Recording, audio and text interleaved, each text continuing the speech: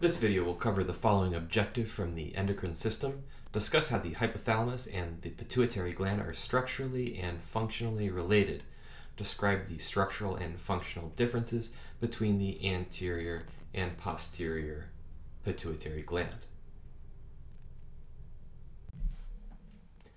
The hypothalamus regulates the activity of the pituitary gland by producing hormones that are either secreted from the posterior pituitary gland or regulating the production of hormones that are released from the anterior pituitary gland.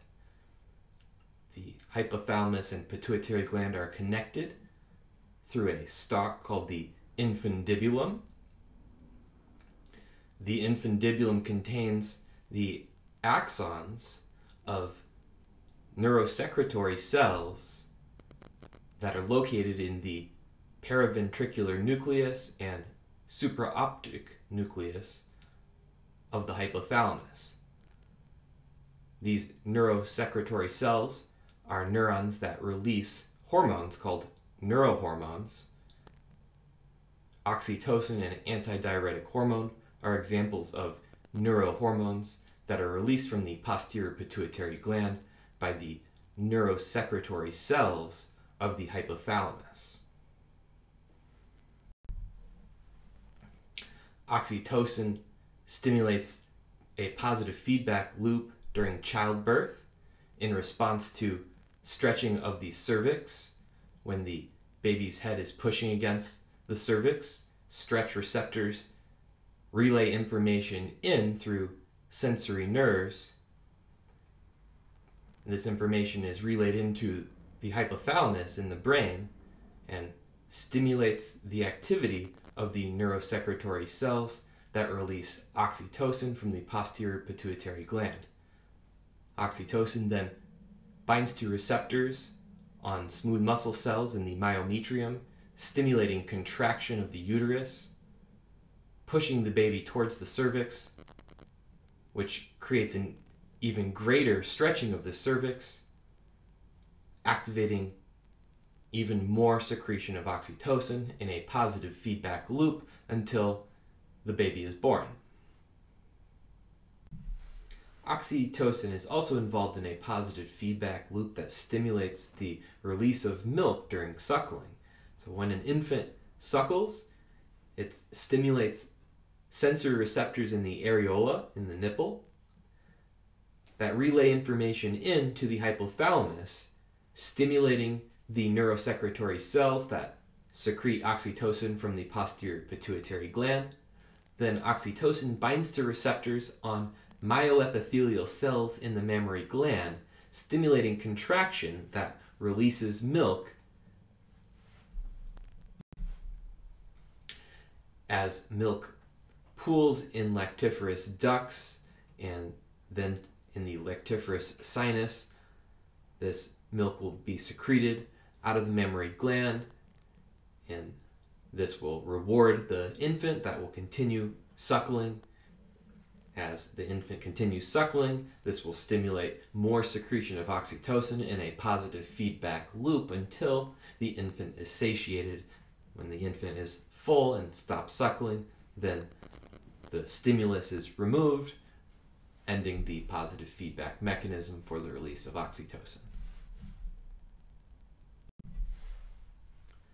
When there is insufficient water in the body, that is, you're dehydrated, this leads to an increased blood osmolarity or increased concentration of solutes in the blood and also an increased solute concentration in the extracellular fluid this is detected by osmoreceptors in the hypothalamus. This stimulates thirst, which will then stimulate you to go find some water and, and get a drink in order to restore the osmolality or osmolarity, the concentration of solutes in the blood and extracellular fluid in your body. However, these osmoreceptors in the hypothalamus will also act to stimulate the kidney to increase reabsorption of water, which causes the volume of the urine to decrease, leading to a more concentrated small volume of urine. As I'm sure you're familiar with, when you're dehydrated, the color of the urine becomes darker, and this is a result of the action of the hormone antidiuretic hormone. So here we can see the location of the neurosecretory cells in the supraoptic nucleus of the hypothalamus that function as osmoreceptors and release antidiuretic hormone in response to a high osmolarity, a high concentration of solutes when you're dehydrated. Antidiuretic hormone will be released from the posterior pituitary gland, and then it will have actions to stimulate the kidney to increase water reabsorption.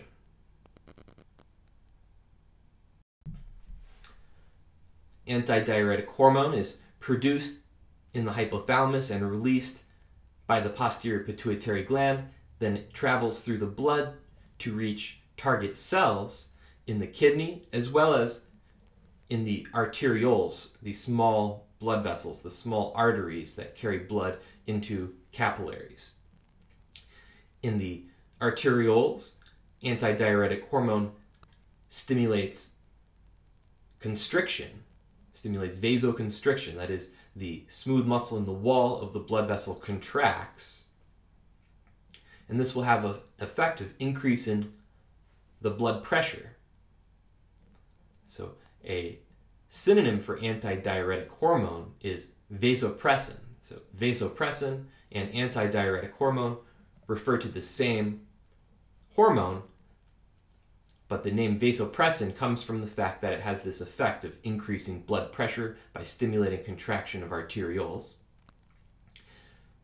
The name antidiuretic hormone comes from its function in the kidneys, where antidiuretic hormone increases the reabsorption of water, causing the volume of the urine to decrease.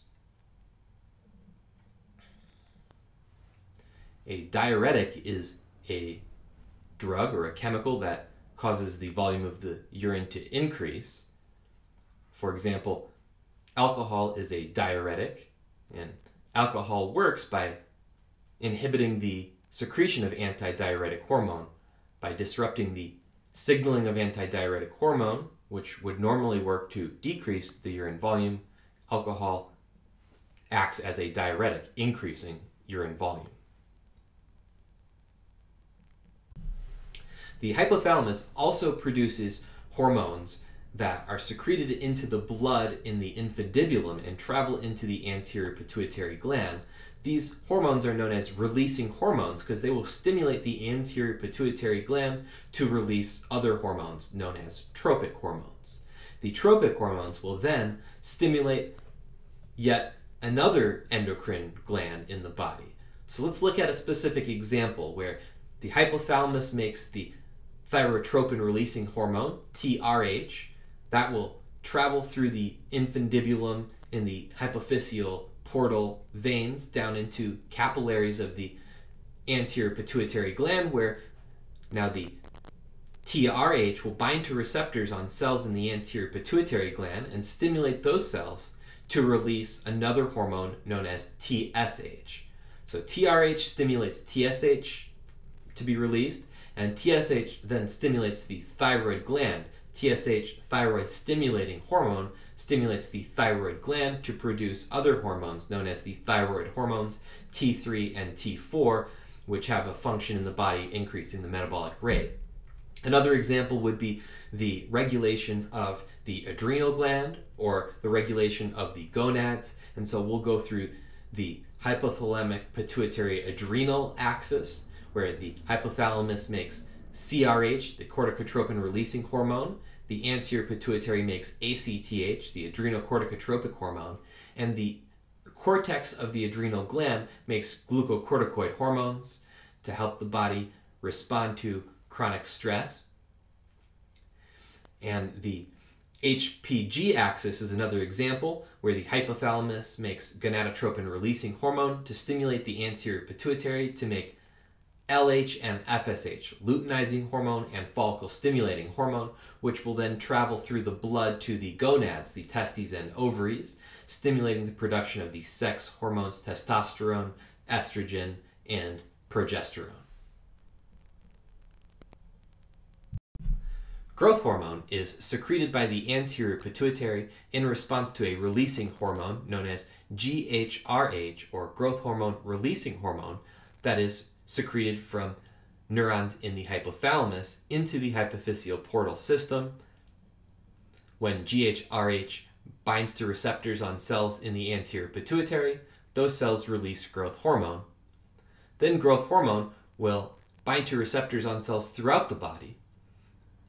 When growth hormone binds to receptors on adipocytes within adipose tissue, it stimulates the breakdown of fat, releasing nutrients, fat molecules that can be broken down to release energy that will fuel growth.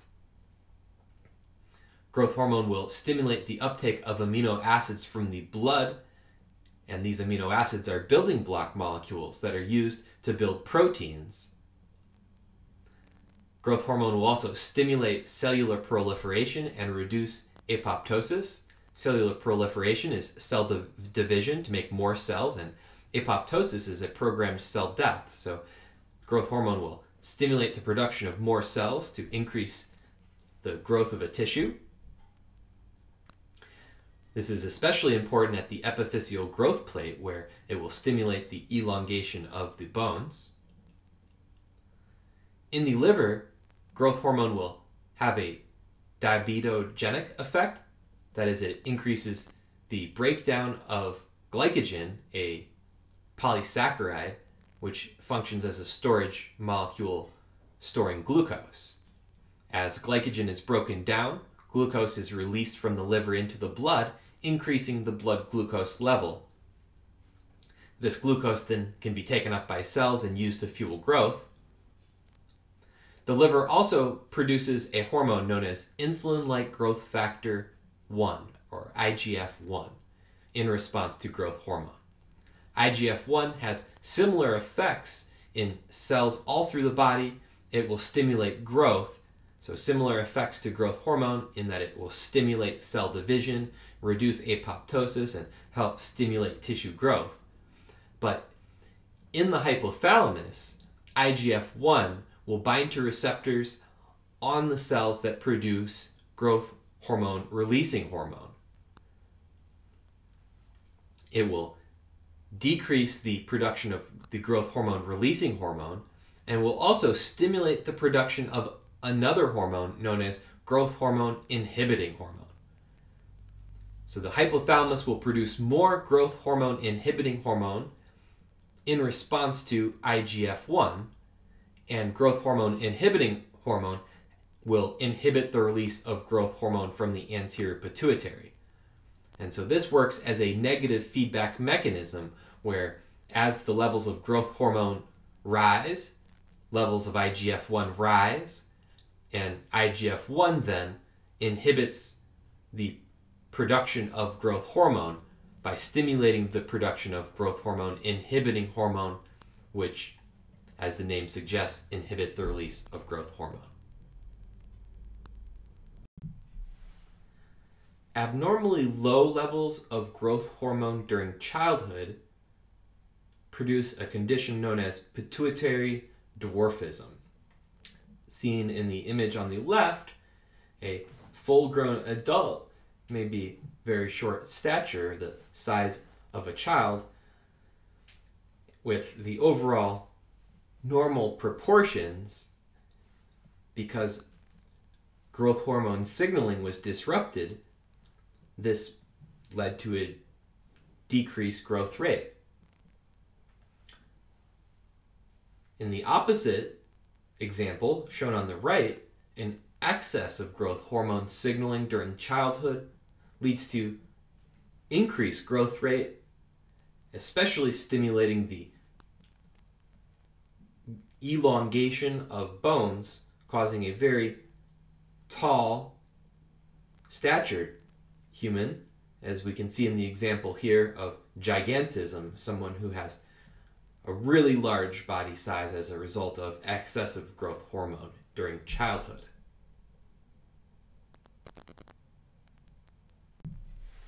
Growth hormone is just one of the hormones that is produced by the anterior pituitary gland. The anterior pituitary gland is secreting several different hormones in response to releasing hormones that are being produced by the anterior pituitary and secreted into the hypophyseal portal vein traveling into the anterior pituitary gland. So here we can see at the top the GnRH, that stands for gonadotropin releasing hormone, is produced by the hypothalamus and stimulates the anterior pituitary to release two tropic hormones. One known as luteinizing hormone, abbreviated LH, and the other known as follicle stimulating hormone, abbreviated FSH. LH and FSH both have actions in the reproductive system. They will stimulate the gonads in order to lead to the production of the sex hormones and also stimulate the production of the, the gametes, the sperm and eggs. Next, you see TRH, that stands for thyrotropin releasing hormone. So, TRH is the releasing hormone from the hypothalamus that stimulates the anterior pituitary to make TSH, thyroid stimulating hormone. So, thyrotropin releasing hormone, TRH, stimulates the anterior pituitary to make thyroid stimulating hormone, TSH, that will then stimulate the thyroid gland to release the thyroid hormones, T3 and T4. T4 stands for thyroxin, and T3 stands for triiodothyronine.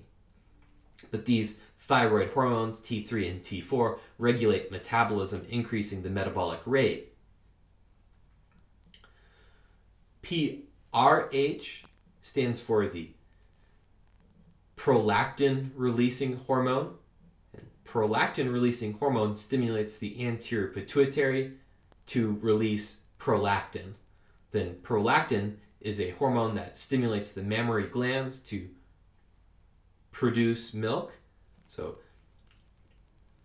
during the end of pregnancy and following pregnancy, prolactin is stimulating the production of milk. But this is different than the action of oxytocin that stimulates the release of milk. Prolactin prepares for that action of oxytocin by stimulating the mammary gland to produce milk, and then in response to suckling, the oxytocin will stimulate the positive feedback mechanism for the release of milk. So next we see GHRH, which, which stands for the growth hormone releasing hormone. So growth hormone releasing hormone stimulates the anterior pituitary to release growth hormone. Then growth hormone stimulates growth throughout the body, especially in the bone and muscles, but also stimulates the liver to produce insulin like growth factor, another hormone that stimulates growth. Last, we see CRH is produced by the hypothalamus. CRH stands for corticotropin releasing hormone. So CRH stimulates the anterior pituitary to release ACTH. ACTH stands for adrenocorticotropic hormone. ACTH stimulates the adrenal cortex, the outer region of the adrenal glands. And it stimulates the adrenal cortex to produce glucocorticoids, which are hormones that help regulate metabolism in order to respond to chronic stress. So, glucocorticoids will have the effect of increasing blood glucose levels, and that's why they're called glucocorticoids. So, glucocorticoids are produced by the adrenal cortex and they'll stimulate an increase in blood glucose levels.